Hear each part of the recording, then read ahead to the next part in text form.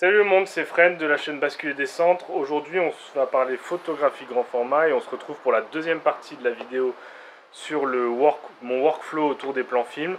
Si vous avez vu la première sur le développement argentique, maintenant c'est la deuxième et on va numériser les plans films grâce à un banc de numérisation, un appareil photo réflexe et un objectif macro.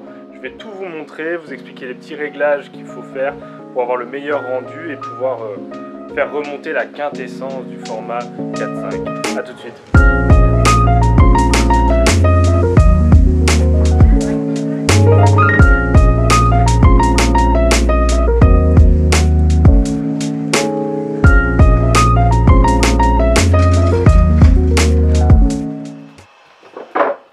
Ok, on se retrouve au bureau, on va installer tout le setup pour numériser avec le D810 et l'objectif macro. Alors, la première chose à faire, je prends un trépied, mon trépied qui me sert qu'à ça, et je retourne la colonne, tac tac tac, et je la mets en fait sur les marques. Donc moi j'ai mes propres réglages parce que je numérise toujours d'ici, donc mes trépieds sont, entre guillemets déjà euh, marqués en fait.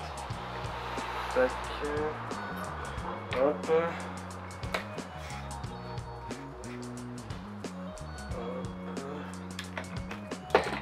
Voilà. Donc, on s'installe comme ça. La première chose à faire, c'est de sortir notre meilleur ami, le niveau. Il faut tout mettre de niveau pour que tout soit le plus plat possible et avoir une reproduction et une numérisation la plus simple possible. Pour mettre à niveau le trépied, c'est très facile. On se met sur la colonne centrale, déjà. Voilà, donc là, un peu de latéral. Et vous voyez comme là, le bureau ici est un peu plus haut. Je suis obligé de descendre ce pied-là. Si je me mets, hop.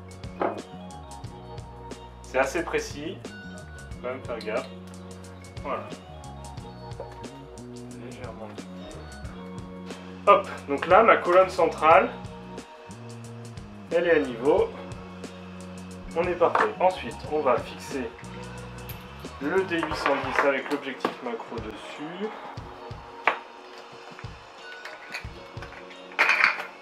Donc moi l'objectif macro que j'utilise c'est le 60 AFD que je vous filme ici, qui est très efficace euh, pour les plans films, tout ça comblé sur euh, le joli petit euh, D810 qu'on voit ici avec ses 36 mégapixels qui suffit, qui largement pour, pour mes plans films. Donc hop, on place la platine.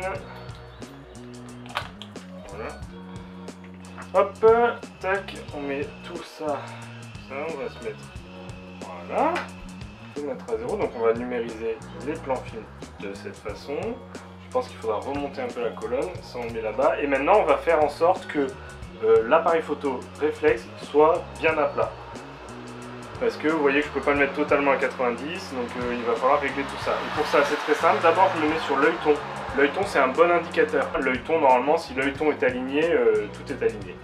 Donc là on voit que ma petite bulle elle est un peu euh, un petit peu euh, décalée. Donc je vais corriger tout ça en agissant ici sur ma molette qui est là. Donc dans le sens là on est bien. Et par contre là je serre bien parce que dans ce sens on est bien. Et dans ce sens je pense qu'on est complètement de guingue et pour faire ça je vais utiliser mon pied ici que je vais euh, un peu relever. Hop là et petite dernière vérif, euh, moi je vérifie aussi avec mon fût, parce que je sais que mon fût est bon. Donc là on est bien, et là on est bien, voilà. Donc là tout est à zéro, et la table, bien sûr j'ai vérifié la table est à zéro aussi, donc on va pouvoir placer le fameux banc de numérisation que je vous ai montré dans les vidéos précédentes. Donc il est là. Comment ça se compose? On a une première vitre, la vitre du haut. On va poser comme ça, on va tout les nettoyer. On a les masques pour bien placer notre plan film, mais ça, vous verrez, je l'utilise pas parce qu'en fait, je me suis rendu compte que ça masquait euh, la luminosité en dessous et que j'avais des difficultés pour faire la balance des blancs ensuite. Donc ça finalement je l'utilise quasiment plus. Un autre banc de numérisation, on va poser notre négatif là-dessus, on va bien nettoyer. Moi je le retourne parce que je vais sortir l'alimentation là-bas.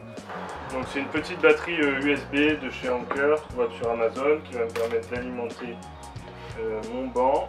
Hop. Voilà, je vais l'allumer. Donc là il est allumé. Donc je vous invite vraiment à aller voir la vidéo que je vais faire apparaître quelque part ou en haut ou sur le côté de la conception de ce banc de numérisation. Euh, moi je, numérise tout avec ça. On est pas mal. Je rajoute toujours sur le D810 un déclencheur externe parce qu'en fait on numérise tellement finement et tellement proche du film avec l'objectif macro que la moindre vibration sur la table euh, de capteur nous fait tout, tout bouger et on a du flou de bouger. Voilà. J'allume, je passe. Alors moi j'ai une configuration sur le D810 exprès pour la numérisation. Custom, hop, numérisation. Et tac. Je vérifie que là, quand je déclenche, ça marche bien. Voilà, c'est bon. On se met bien sûr en autofocus manuel. Alors moi, par souci de praticité, j'utilise une autre carte mémoire pour les numérisations. Euh, parce que au moins j'ai pas de doublon en fait. Euh, voilà, sur mes cartes mémoire de travail, parce que c'est des appareils photo qui me servent pour travailler, j'ai pas de doublon et j'ai pas de, numérisation fortuite. Toujours les gants en coton quand on manipule les plans fines, c'est très important. Ça évite de les abîmer avec les traces de crack que l'on a et tout ça. Au préalable, on aura bien sûr bien nettoyé. Euh, on peut passer un coup de gant parce que c'est des gants 100% coton euh, non abrasifs. Euh, les différentes vitres de numérisation. Et ensuite, on va placer notre plan film dessus et on va faire les réglages de hauteur, maintenant que la colonne est droite, de hauteur et de, de mise au point. Et ensuite, une fois que tout est réglé, tout est serré, tout est bien fait, on n'a plus besoin d'y revenir et on peut enchaîner les plans films comme ça et ça va assez vite. La mise en place est un peu longue, surtout qu'en plus moi vous voyez je suis dans mon salon. La mise en place est un peu longue, une fois que c'est mis en place, c'est bon. Toujours pareil, l'émulsion on la repère avec l'écran, donc on va mettre l'émulsion vers l'appareil photo, vers le haut, donc avec l'index droit, émulsion sur l'index droit, ça veut dire que l'émulsion est vers le haut. On place notre plan film comme ça, on regarde, on se met en mode live view. Et là, on regarde ce que l'on a. voilà. Et donc là, on va faire le premier réglage de mise au point et de recul. Donc c'est pas bon du tout.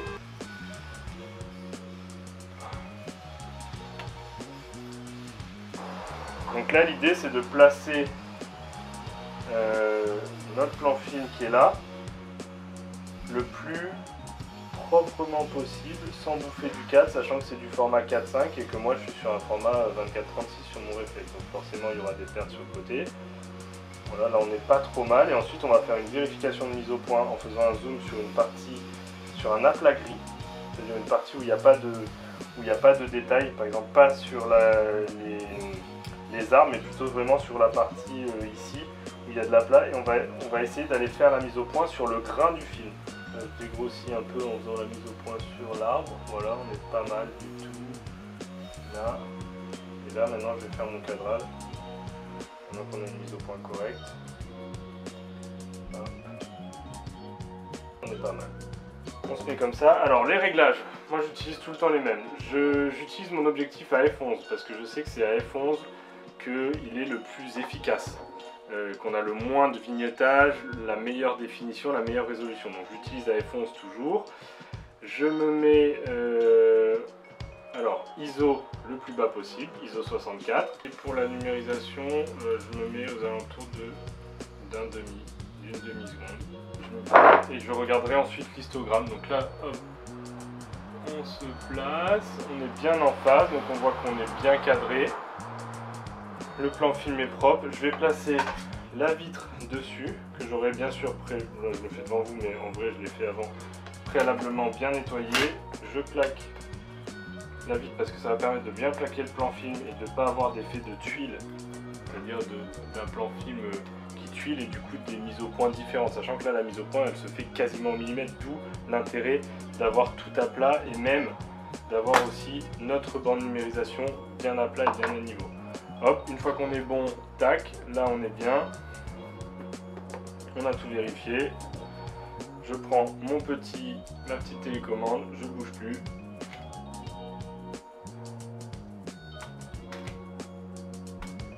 Et voilà. Et voilà, tac. Mon plan film est numérisé, il est net.